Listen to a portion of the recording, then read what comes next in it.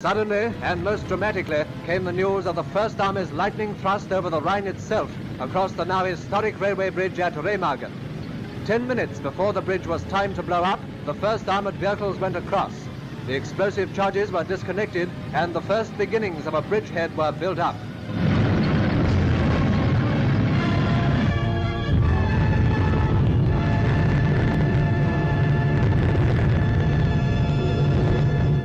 It seems hardly possible that the enemy could have made so little apparent preparation on the east bank, although the Luftwaffe did make several attempts to smash the bridge after the initial crossings.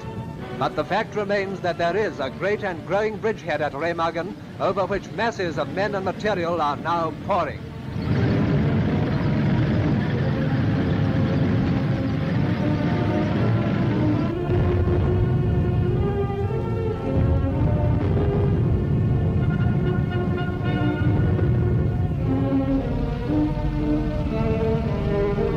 The skill and daring of General Hodges' men have given them the well-deserved honor of being the first troops to open the way to our final victorious advance.